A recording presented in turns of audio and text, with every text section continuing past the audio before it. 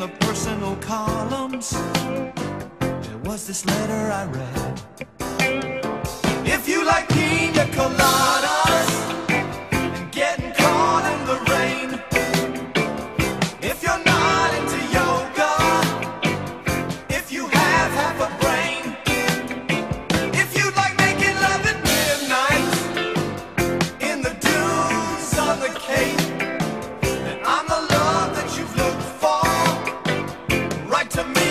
escape.